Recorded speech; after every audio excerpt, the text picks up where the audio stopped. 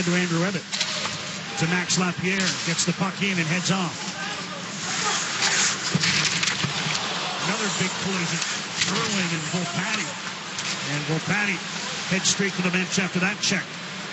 Hit at one end. And Aaron Volpatti had Matt Irwin lined up just a moment ago. Well, this hit by Aaron Volpatti on Matt Irwin. He sees him coming. He gets ready, much like uh,